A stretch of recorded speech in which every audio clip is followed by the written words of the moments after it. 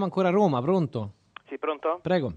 Sì, sono Fabrizio Bartolomucci, iscritto a Radicali Italiani. Prego. Volevo rilanciare anche su questo spazio la mia proposta di adotta un detenuto, di cui ho già parlato sulla eh, zona Facebook di Radio Radicale. Essenzialmente questa proposta vorrebbe eh, permettere alle famiglie eh, che hanno diciamo, disponibilità di eh, scegliere dei detenuti pubblicati dal, eh, presentati su delle pagine web dal Ministero della Giustizia da, da tenere nella propria abitazione.